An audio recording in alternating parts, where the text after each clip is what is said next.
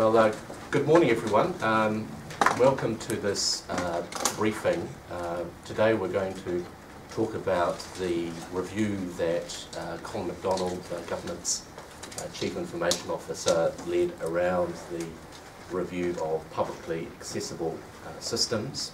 Um, the way we'd like to do the briefing is to take you through um, the, the high points of uh, the review and what it says, and then we'll open up for any questions uh, that you've got. Um, Colin will uh, handle most of the briefing, but I'll just say a couple of things um, by way of introduction. Um, the issue about uh, trust in government agencies to handle personal information, I think is one of the most important issues that faces us uh, as a state sector uh, going forward.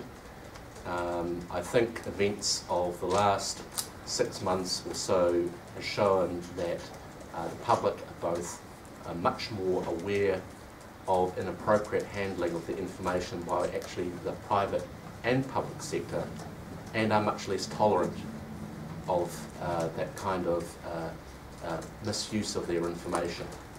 So very much the message I think the public has sent us in the last uh, six months is that we need to raise our game considerably around how we handle people's information and that is a message uh, that I have taken on board very clearly and one I think is shared by uh, the leadership uh, of the public service. Uh, so this is part of uh, us raising our game in the handling of people's information.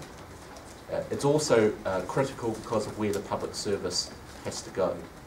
Today, many New Zealanders are accessing uh, government services uh, via technology and particularly online technologies. And many New Zealanders do that very successfully uh, and tell us through the surveys that they conduct that for a lot of services, uh, that is a, a particular channel of choice that they like using and increasingly want to use. So in the coming decade, we will see more services uh, move uh, online and into digital channels. To do that successfully, though, we have to assure New Zealanders that uh, they can use that channel with confidence that their information will be appropriately handled. So getting on top of these issues now is critical not just to address uh, what I judge the public's mood at the moment, uh, but also to allow us to make the shifts in services uh, that we need as a public sector. Um, the context for this review uh, goes back to October uh, last year. As many of you will know, uh, at, at, that stage there was a breach in one of the MSD kiosks. when that incident occurred, I immediately asked Colin Macdonald to undertake a review to see if similar issues were present uh, in publicly accessible systems across the wider um, uh, state services. Uh, that review uh, was completed uh, by about Christmas uh, last year and through the first months of this year we have been preparing a, a package of responses to that review. those have been approved by Cabinet and agencies are well underway uh, in responding to uh, our directions about how they need to change uh, their performance and Colin can take you through uh, the details uh, of that. Okay, thank you Iain. Um, before I go into the details, what I'd like to do is talk a little bit about the context around managing information and, and privacy and security. Privacy and security around information is one of those jobs that will never be finished and it will never be completed because systems change uh, and needs change and requirements change and expectations of citizens change. So the security and privacy approaches that go around those systems have to also change. They have to keep up with and in many cases have to get ahead of those expectations and requirements. So there will always be a level of risk in this area that must be managed. Um, if, if we are to give access to citizen services in, in modern uh, online ways, then there are risks that must be managed. Um, it's quite clear, as Iain has said, that the public's expectation around privacy and security uh, is high, and it's important that the public service meets those high standards. The key findings of the review, um, and, and this review was a desk-based review where we looked at the approaches and the processes that were taken in agencies. How did they, how did they ensure that those systems they were deploying were, were secure? What approaches did they take? Now, the review has clearly shown that the management of privacy and information security uh, in public, uh, publicly accessible systems across the state sector is not always meeting best practice and it needs to improve. Ensuring privacy and security of information has three lines of approach and three lines of defence. First and foremost, there is the good technical work that is done at the front line by our technical IT professionals and our IT vendors. Secondly, there is leadership oversight of that activity um, from senior management within agencies. And the third line of defence is independent quality assurance to make sure that you have done what you said you would do. And the review found that in many cases across the state sector, we are relying too heavily on one line of defence. We're relying too heavily on our IT professionals and our IT vendors. So many agencies need to make improvements in the way that they govern and oversee this activity, and the state sector is working hard as a result of this review to lift its game. So as you can see, the review found that many of the processes in agencies are underdeveloped. Many agencies had informal or undocumented processes and often relied on the skills and abilities of individual people. Now, as I've said, this is, this is important, but it's often not enough. Often these processes have grown up over time as expectations to get services online coming from citizens has increased. Then those processes have developed in line with those expectations. But we haven't necessarily stepped back and asked the question, are we doing all of the right things that we need to do? So in the face of those results, we've initiated a, a plan of action, and I'll talk about that shortly. We reviewed 215 systems. 203 of these systems were fine and needed no immediate action. However, within 12 agencies, we found some weak points that were identified in their security, and those weak points had to be addressed. There is, however, no evidence that those weak points had led to any security or privacy breaches. They were vulnerabilities that could be exposed by somebody making an attempt to access those systems um, inappropriately. So to use an analogy, it's a bit like a building that has locks on the windows, but the locks perhaps not strong enough to resist the most determined attacker. So, so we found no open doors but we did find some areas that needed to be strengthened. We originally considered that there were 13 agencies that had potential vulnerabilities, and in fact, one agency subsequently provided documentation to confirm that no, they were actually outside scope. So, of the remaining 12 systems and the remaining 12 agencies, all of the issues that were identified have been addressed by those agencies. And as I say, there is no evidence that those potential vulnerabilities, those potential weak points, have led to any privacy breaches. A list of the agencies and the systems has been provided in your media pack. we will not be providing any more detail about the nature of those vulnerabilities because we do not think that it is wise to encourage people who may wish to try and broach these systems. So we will not be providing any more information. So as I mentioned earlier, a plan of action is already underway to address the issues that the review has identified. The plan is robust, it's certainly aggressive, and it will require concerted effort across the system. And it will require the attention of chief executives in all agencies. Um, and it will require support and help from the IT industry. So my team within the GCIO office have been providing guidance and advice to agencies and will continue to do that um, and we'll be helping them and supporting them to comply with the requirements of this plan of action. In December, I submitted my report um, to Iain as State Services Commissioner, and at that time, we asked all agencies to take immediate steps to ensure that their security and privacy processes were up to current standards. For example, we put in place um, a requirement that all new systems, before going live, had to have a privacy and security formal assessment. And that ongoing systems that were being developed needed a, an accreditation framework to make sure that best practice was being applied. In January, we discussed uh, and considered the report and prepared to take that report to Cabinet. And then in discussion with ministers, established the final plan. So by April, all agencies had to complete a risk assessment on their publicly accessible systems and then make a strategic choice as to whether they were going to continue to provide those services themselves or whether they were going to find another way of providing those services. For example, by using another agency or potentially outsourcing those systems.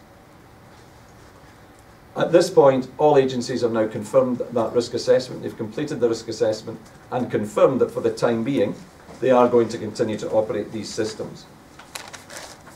By the end of July, agencies, all agencies will have to complete security testing for any systems that they consider to be high risk, publicly accessible systems. And they then need to provide me with a statement of their capability. What have they done and how have they done it? High level details of their ongoing improvement programme and a confirmation that they've un undertaken all of the actions required of them and a plan to address any vulnerabilities that they might find. It's important to understand that agencies themselves have to determine which systems they consider to be high risk. The sort of thing that they're likely to take into account is the nature of the information that that system holds and the way that that system is used. That's why it's important that that's a decision for agencies and agency chief executives to make.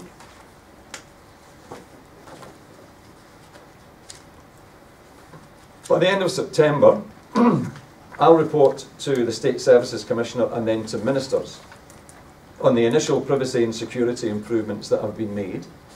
And I'll then be reporting annually um, for the next two years on the ongoing improvements that are being made right across the system. And by the end of March 2014, all agencies will complete a security assessment of all other publicly accessible systems. And in terms of the overall response across government, we have established an information security and privacy governance group. And that group has been set up to make sure that the recommendations for the review, from the review are not just implemented, but in fact that they can be measured and that they can be sustained. And that the privacy and security work across the system is well coordinated.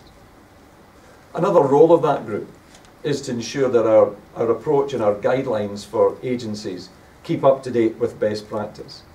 So we need to get up to best practice and we need to keep up to best practice. We're also establishing a panel of security and privacy experts and suppliers that agencies can draw on to ensure consistent quality uh, and, and best value for money. The State Service Commissioner has also reinforced public sector chief executives' responsibility for privacy and security within their own agencies and is in the process of updating performance agreements. And we have a privacy leadership group run out of Statistics New Zealand that are developing a toolkit which has now been, the initial programme has now been launched uh, with agencies. An initial toolkit to make sure that best practice is being used across some of the other aspects of privacy and security. Because as I'm sure you're very aware, it's not simply about the technology. It's also about the practice. It's about the, the, the, the policies that people have within their agencies, the training that they give their staff.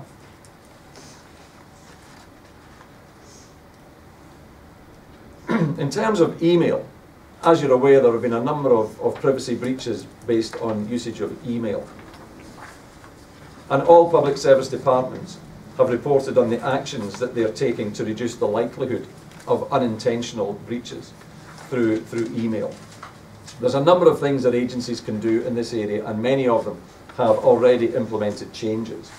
So, for example, many, are, many agencies are training their staff in the appropriate use of email to make sure that, that consideration um, is given uh, before, before documents are sent outside the agency. Many of them have also implemented automated checks, whereby uh, a, an extra question is asked before the email goes externally. A number of agencies have also disabled the autocomplete function to ensure that they have a, a better chance of making sure they're sending it to the right person. And a number of agencies have also looked at better ways of moving information around by sending links to documents rather than sending the documents themselves, which presents a further level um, and a further line of security. So just to close, um, it's very clear that we need to lift our game. The public expects, and quite rightly expects, that any information they give to government will be treated carefully uh, and it will be treated with, with respect. Citizens also want to be able to access services when it suits them, how it suits them. And so, so this is something that we simply have to get better at. This is not primarily a technology issue. This is primarily an issue of managing risks. And it needs the oversight and involvement of senior teams, chief executives within agencies to ensure that the right decisions are being taken and the right protections are put in place. We have a very clear picture of where we need to get to. We have a very clear plan to get there. And I'm confident that over the next two years, we will see significant improvement in the way privacy and security is managed across the state sector. Thanks, Colin. Questions? Is part of the problem that within any public sector, the people that are responsible for IT and security aren't actually members of the senior management teams. They tend to be down the food chain, as it were. I think the key issue is, is the degree to which senior management are, are having clear oversight of the decisions that are being taken um, to, to decide how to protect those systems. So I, I don't think it's a question of where somebody reports, I think it's a question of the processes and procedures that they have in place to make sure that the right risk conversations are being had at a senior level. Do they, the senior management, do they actually understand how these systems work, and is that part of the problem? I don't think senior management need to understand how systems work. They need to understand what questions they need to ask. And they need to understand some of the basic principles of good security and good privacy. And then they're equipped to ask those questions. As I say, it's not a technical, it's primarily not a technical issue, it's primarily a risk management issue.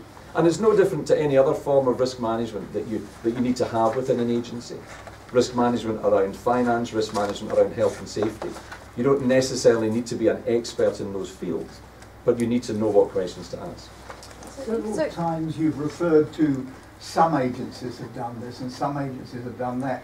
It sounds like it's still very much an individual decision by the agency. But to what extent is it possible to put security and privacy um, guidelines and even um, and, and even standard software in place on an all of government basis? Um, well, I think and essentially the move that we are taking with the creation of the Government Chief Information Officer role and the mandate that that office is being given is a fundamental shift in how we want the system to work in that, you know, up until recent years, individual agencies have a very high degree of autonomy around uh, standards, uh, and there have been benefits from that. Uh, but increasingly, uh, as a system, uh, we are only as strong as our weakest link.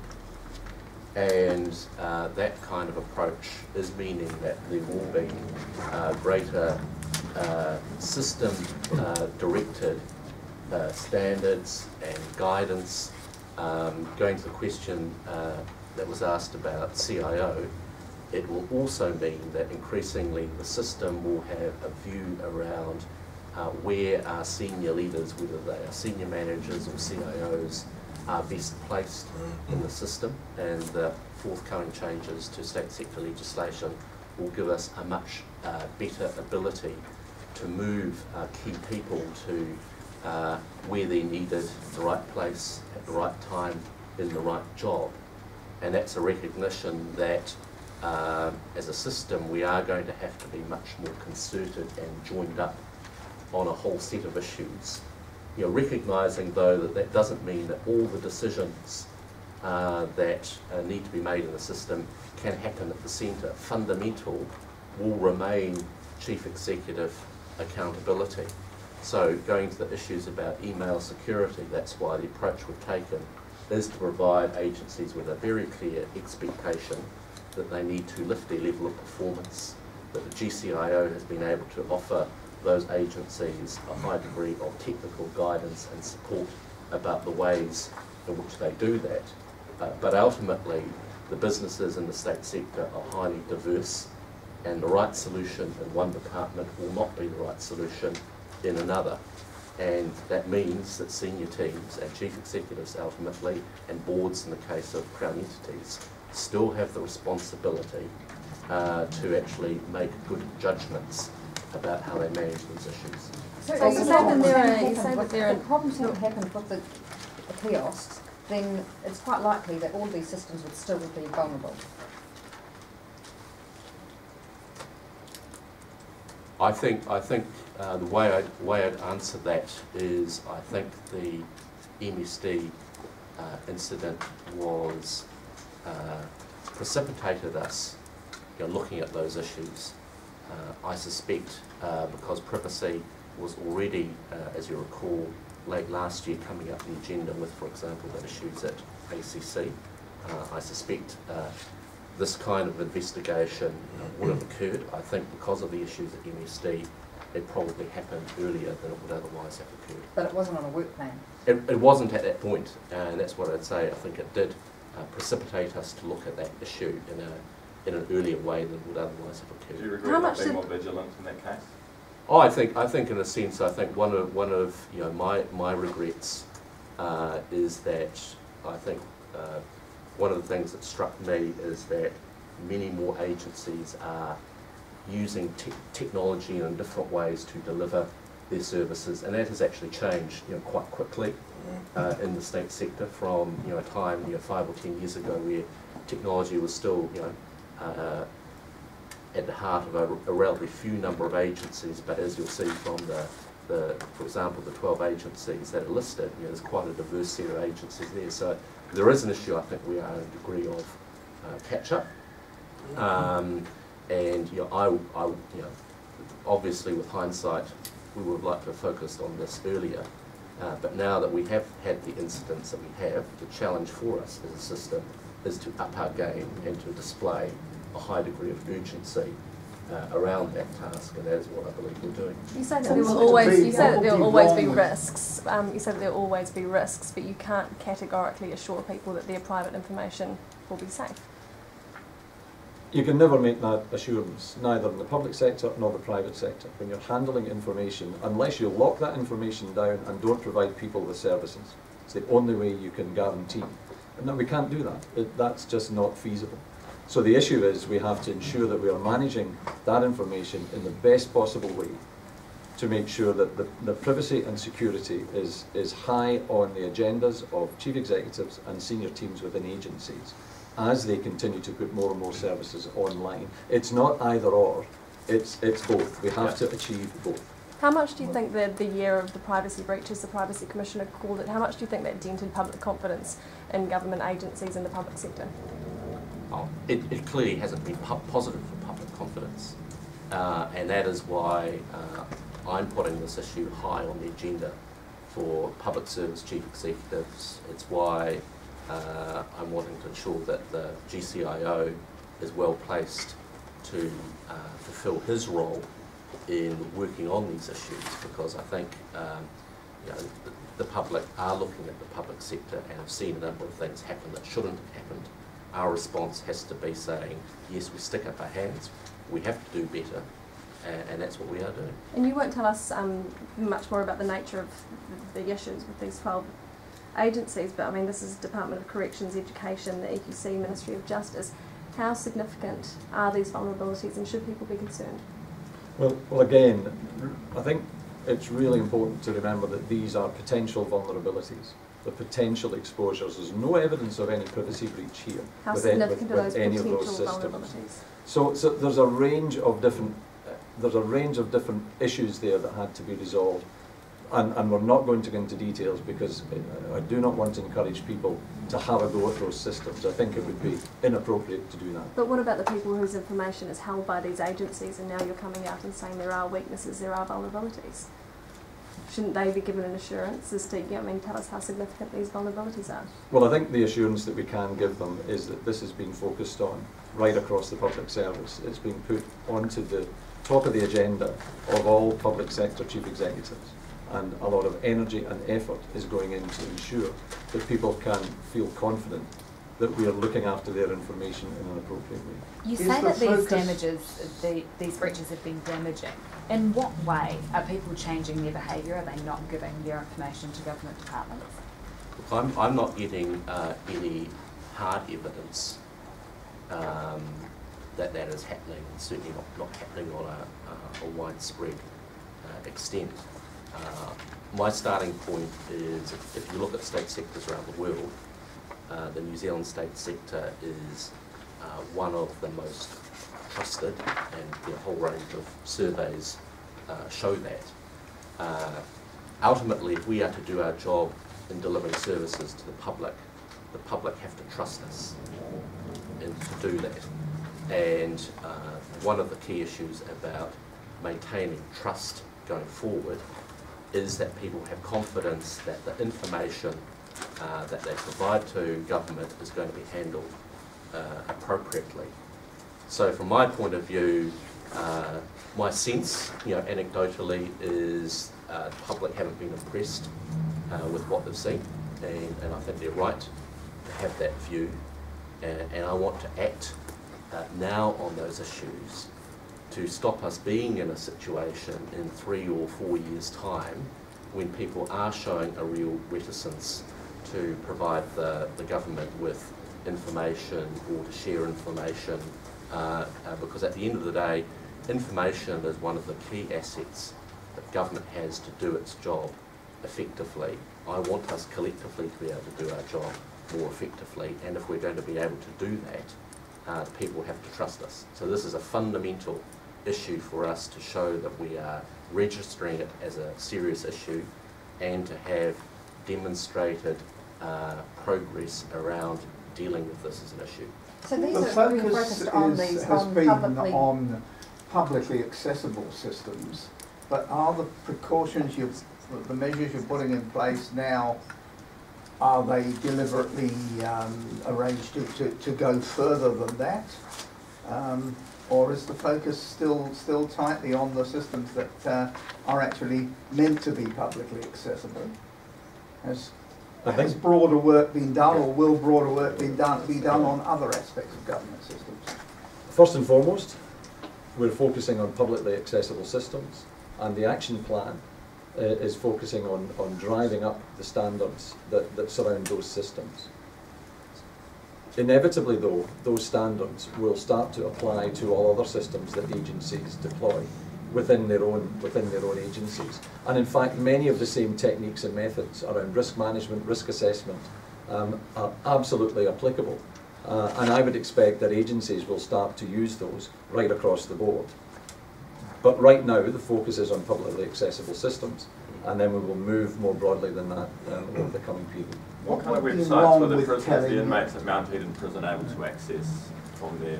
I, from- I don't have that information. You would need to you would need to ask um, the department. Ha- Do you know how many uh, computers like that there are in prisons? Again, you need to refer that to the department. My focus was on whether there was a vulnerability in the way that it had been What, set what, up. what would be, what would be wrong with issuing a general directive to say, for example, you shall not use autocomplete on emails? Why do you have to rely on the individual uh, chief executives to make that decision? Again, all, all computer systems are in place to try and allow us to do our jobs in an efficient and an effective way and to provide services.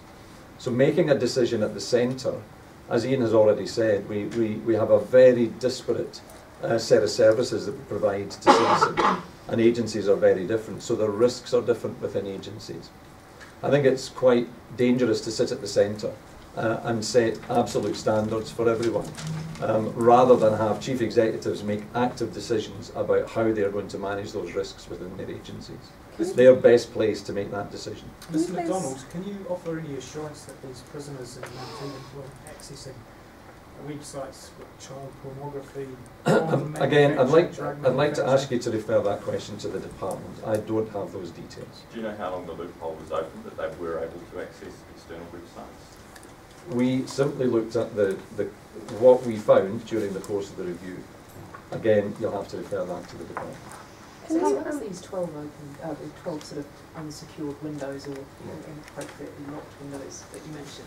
I mean, there did seem to be problems across, you know, pretty much all of the agencies that we talked to were failing to meet the target, the exact targets of the employment and the way that these things are being done. Mean, most of them had insufficient security. How disappointing is that? Remember, this is measured against best practice. What we did was measure them against best practice, and, and you're right, a, a, a number of agencies did not meet best practice. And, and there's, there's a variety in there. Some agencies are, are right up there um, deploying best practice, some aren't. But how disappointed were you as, as GCIO to, to find that that was the case? Well, I think in terms of where the public sector needs to go, um, in terms of the sorts of services, the, the, the way the public wants to access its information, it's quite clear we have to lift our game and we have to get better. So, so, so it just simply has to improve. In your view, is there a systemic issue with uh, IT security in the public service?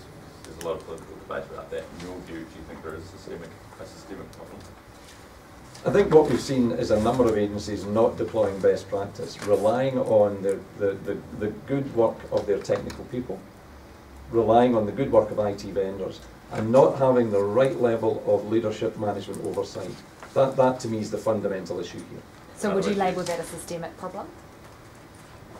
The, the way, the way I, the way I'd frame it is, uh, I think because of where we're at and where we need to go, the level of performance in the system as a whole around information management, information security is a much higher level of performance uh, than we thought about, say, three or five years ago. So this is an issue about moving the whole system up in terms of its level of uh, performance, and that is what we're in the process of doing.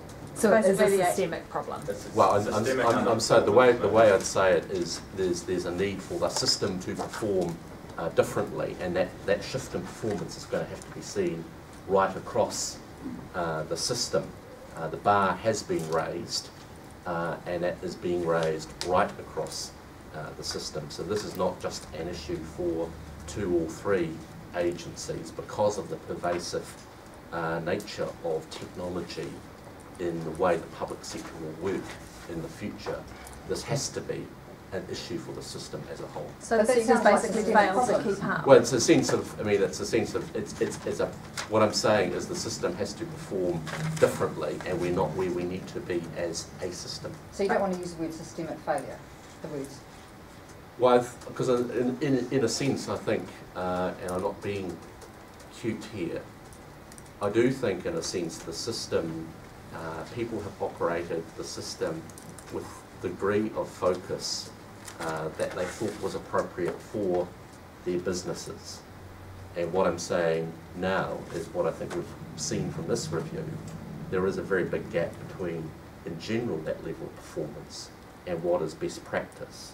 And because of both public concern around these issues and, importantly, how we want services to change in the public sector, the level of performance that the system needs to exhibit in this area has to be much greater in the future than in the past. So um, I don't think the word systemic failure in a sense is, is that helpful in this context. What we're saying is collectively we need to raise the game because of where we are and where we need to go. So the So system is basically- perhaps. I, I think this is this you know within the system there are always judgments that you're making about the degree of risk that you take in operating your business. And you have to make judgments about where you focus your risks, where you take your risks because um, we're in a world where there is limited capacity for, for any senior team to focus. There are limited resources, uh, there's limited capabilities. You're always making a judgment about the degree of, of risk and focus that you put on operations in your business. And that- that is always going to be the case. What the issue is, I think we're saying, is in a number of issue, a number of agencies, as Colin said, we have relied too heavily on the first line of defence as opposed to all three lines in defence. And people have, you know, made those judgments. What we're saying now is that's not an appropriate place for us to be going forward. And therefore we are wanting much more concerted and much more consistent focus around information management and information security in the public sector as a whole. But the Given the work that sectors, you've like got to do, Mr Macdonald, do you think you've got enough resources? Do you have, are you, do you work on your own? Do you, do you have enough support to be able to tackle the work that you- you're going to be doing? Now, I'm, I run a large department um, and I've organised my leadership team to make sure we've got a great deal of focus on this area. So I have a whole branch within the department that, that helps in this area. And, and uh, what, what I'd say is the, the creation of the GCIO is, is I think a fundamental way in which our system can form differently. We're putting a lot of focus in supporting Colin and his team, that they have uh, the right degree of mandate, the right degree of resourcing, and the appropriate focus that they can do their job uh, successfully. So supporting Colin is a really key uh, priority uh, for me.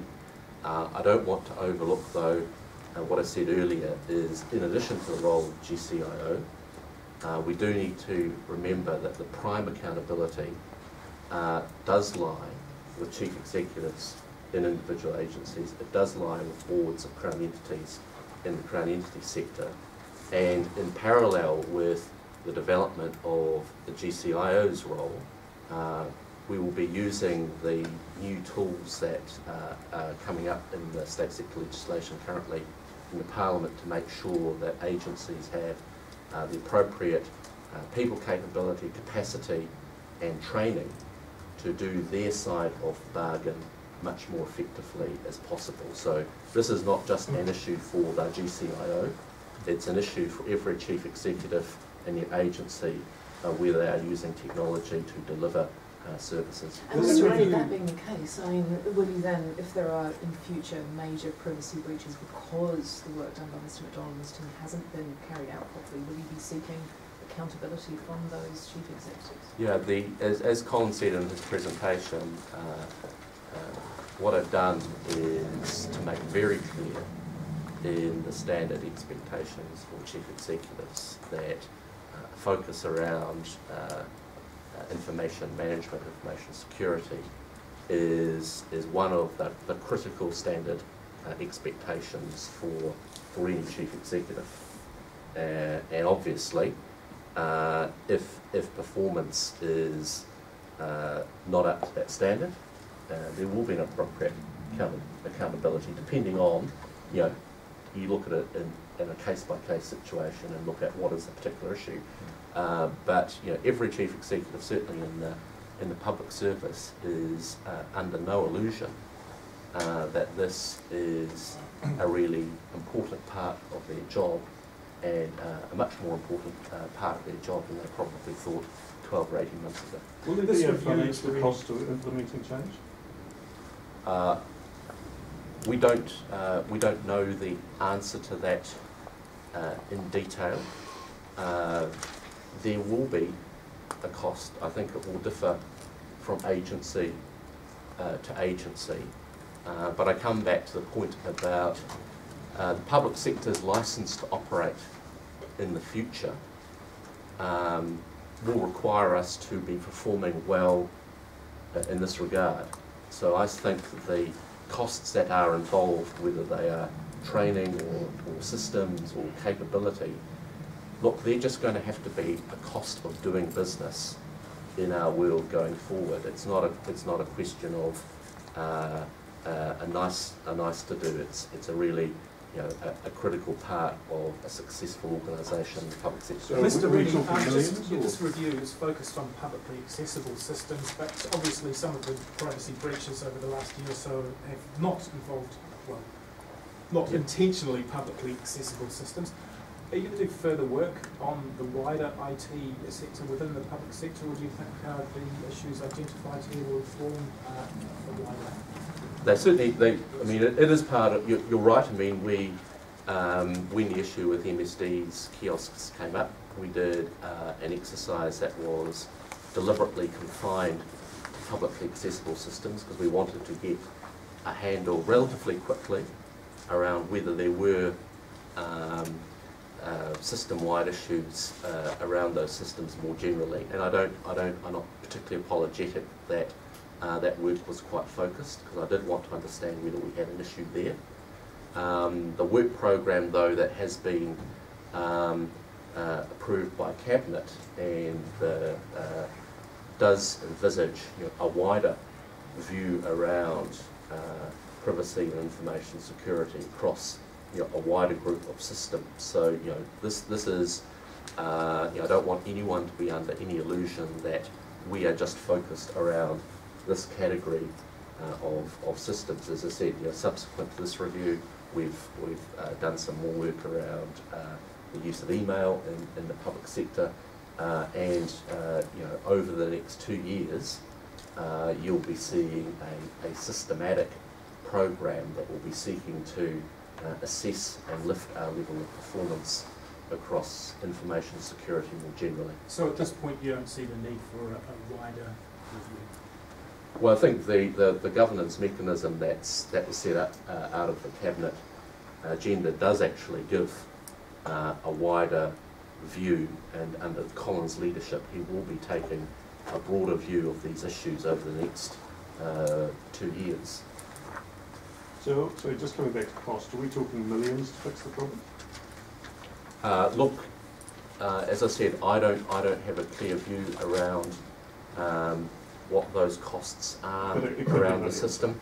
Look, I don't want to, I don't want to speculate because I don't, I don't know. So you know, I, I don't want to mislead by saying it's, it's in this order of magnitude. What I'm saying is, uh, any public sector organisation, uh, as you operate, you there are costs that you you incur uh, to have that licence to operate, and that's just going to be one of the costs uh, that agencies are going to face in operating in the world that we're going into. Can you Can, can I just make a point on that as well, though? If you, if you, if you go back to the fundamental finding of the review, the fundamental finding of the review was that we were using one line of defence and we need to deploy all three lines of defence. The other two lines of defence are um, management oversight and independent assurance. So, so I think it's important to keep it in that context, that those are the changes that we're likely to see, is a higher level of management oversight uh, and a higher level of, of independent quality assurance. We're not necessarily going to see a huge investment in, in, in physical security techniques around IT systems. We are going to see a much higher focus from chief executives and from senior teams and much better independent assurance that all of those things have been done appropriately. Which, which should have been there in the first place, shouldn't it? Given the world that we are now operating in, best practice would have all of those things in place right now. And, and our very clear plan is to get those in place as quickly as possible. How much did the review cost and how much has it taken to fix the problems that have been identified? I don't have those figures. Um, I, I, I can find you the cost of the review, um, but I don't have figures for what um, for what agencies have spent to, to come up to this point. Can you please Final explain? questions, please. Can you Sorry, please Favour. explain? Thank you, Ms. Marie. Uh, the limitations. It says here that you're you're not able to test whether the controls are actually effective. What does that mean? Unless the agencies themselves self-assess. Well, what we did, um, what we did was a what's effectively a desk-based review. So we reviewed the policies and